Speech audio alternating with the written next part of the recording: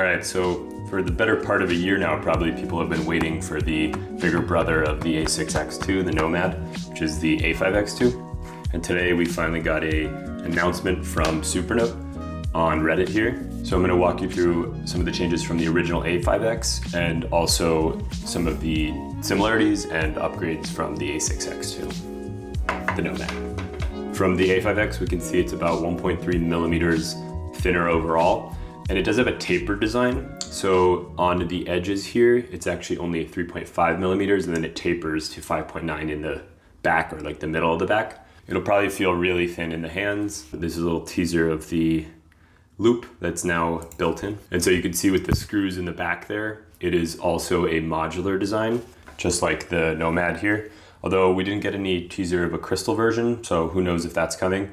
It looks like the back panel is only part of the back, not the entire back like this. So likely we probably won't see a crystal case, my guess is. And then with the half folio now, instead of being a full folio like this, where it covers the back as well, it is a half folio and there's a little kind of switch there you can see that releases these clasp mechanisms. And because it's a half folio, you can see here as well that there is a pen loop that's kind of built in and it almost looks like there's like two screws.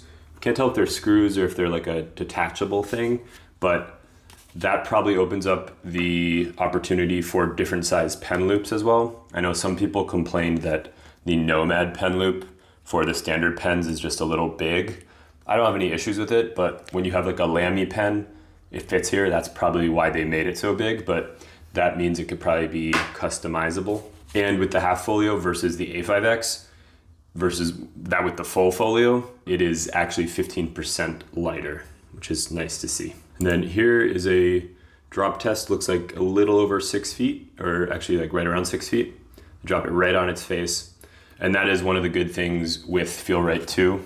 It is kind of by nature very scratch proof because you're scratching it with metal all the time.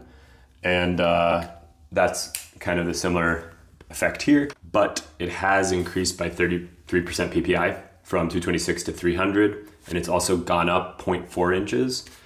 And so I was actually, one of the things I was surprised with is I expected them to say it was Carta 1300, but they haven't really like made that clear here. But given devices like the Viwoods AI that's 10.65 and is Carta 1300, I think it likely will be, but it doesn't clarify that. Let me know what you think about that. And then you can clearly see the battery is bigger than the Nomad's battery here. And that's kind of expected because it's a much bigger device. But the SoC is the exact same SoC. So if you wanted to transplant this to a different device, you could. I don't know why you'd want to, but makes modularity easy and upgradability and replaceability if something breaks. And uh, looks like there's also the little micro SD slot down there in the kind of same location. The battery does look like it has a different connector if you can see here.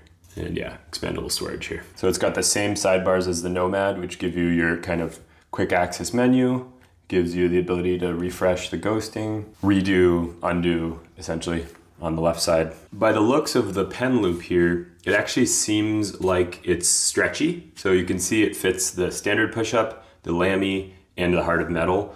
All They all look very tight on it. So I'm guessing that it's a kind of stretchy, like an almost like a, like a nylon or like some stretchy fabric there. This is cool because it's a half folio. It now has the non-slip pads, uh, kind of like the Remarkable. That's uh, something that I wish the Nomad did have because I actually like using the Nomad outside of its case, but this can be relatively slippery. And uh, surely you could probably mod it if you wanted to, but it's nice that it, it comes built in. I wonder if they'll actually end up making a half folio case for the Nomad that is like a similar design and is kind of attachable because this whole back plate is removable and attachable. So it'd be interesting to see if they kind of implement a similar design on the Nomad from this as like a upgrade accessory type thing. And the charging port is still on top like the Nomad for better organization when you're on a table or something like that. Subscribe to notifications like they mentioned last week, this was going to be an announcement. So some people might be a little disappointed that they don't have a concrete date of when to pre-order or when it's coming out. My guess would be like in the next couple weeks we'll start to hear about pre-orders, but no one really knows. Yeah, just pretty cool device. I'll certainly be getting one and putting out some content on it when it comes out, so stay tuned for that. But in the meantime, if you want to check out some more A5X2 content, you can see that up here. And I'll see you in the next one. Bye.